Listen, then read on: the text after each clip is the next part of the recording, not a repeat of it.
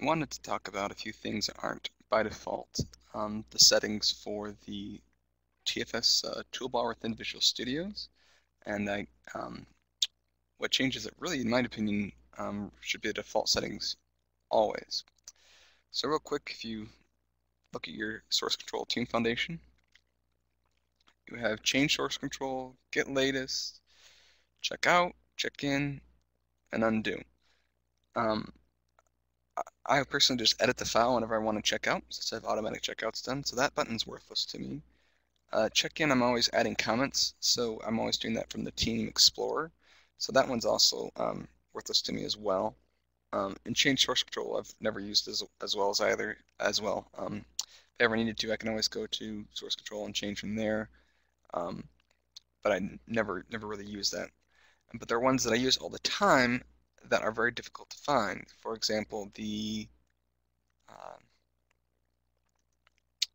the view history and the compare. These are ones that I use all the time, and if you have your whole hierarchy over here in your Solution Explorer collapsed, it makes it very difficult to find. So I'm going to show you how to add those to the toolbar since it isn't that easy. So customize,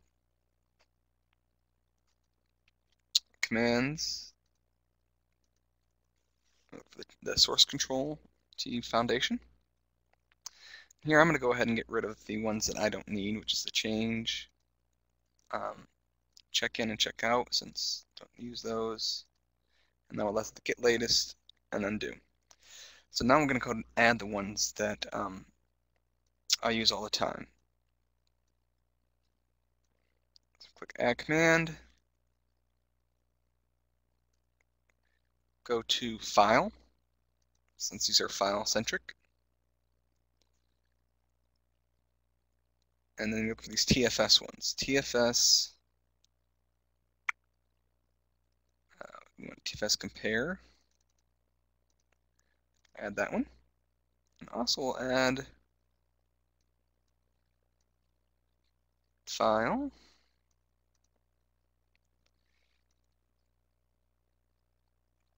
TFS view history, or just TFS history. Okay, First one I probably use is to compare the most. Um, view history and then undo. Yeah, that, that order's fine, whatever floats your boat in that aspect. Um, if I go ahead and close that, now they're up here. So now if I go and make a change to something, and I don't have to go finding it over here, I can just click the button up here, compare. Compares. There's my change right away. I don't need to go find it. And also, if I don't like it, this was there before, undo changes. But you also have the view history now. Go back, oh, okay, this is what happened since then. So, those are all the changes.